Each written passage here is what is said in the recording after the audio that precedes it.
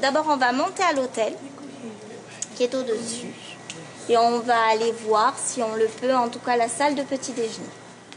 Ils ont entre 13 et 21 ans. La majorité d'entre eux sont originaires de Tahiti, quelques-uns des Tuamotu. Atteints de trisomie 21 à des degrés différents, ces adolescents débutent leur tour de l'île ici, au lycée hôtelier de Utumauru. Organisé par le centre médico-éducatif Papanui, l'étape gastronomique du jour se veut avant tout ludique. C'est une, une, fenêtre pendant une semaine qui nous permet un petit peu de mettre en avant notre travail et surtout et principalement de mettre en avant les enfants, les adolescents, jeunes adultes porteurs d'une trisomie 21, porteurs de handicap en général. Après une visite rapide de la réception, des chambres et de la bibliothèque avec des ouvrages de cuisine, rencontre avec le grand chef.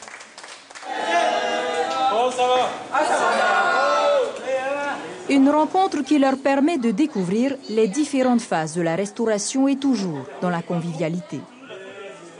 Tu es aussi venu faire la cuisine? Oui, j'aime. Et pour terminer la visite, une petite restauration s'impose avec un accueil, un repas et un service à table préparés spécialement par des jeunes porteurs de handicap, à l'image de Kahili. J'ai quitté l'école, j'étais perdue. Après, je suis venue ici. Et depuis, qu'est-ce que tu as appris à faire? Et du crêpe. Et quoi d'autre Et le... ah. Tu aimes ce que tu fais Oui. J'encadre le groupe d'initiation professionnelle. On est autour de l'horticulture, un petit peu de cuisine, un petit peu de lingerie. Donc euh, on, on, est au tout début de la, la, formation professionnelle. On espère plus tard qu'ils pourront intégrer ben, le, monde du travail. Euh. Le plus que j'ai aimé, la cuisine. Intéressés, sociables, il suffit d'un rien pour leur donner le sourire.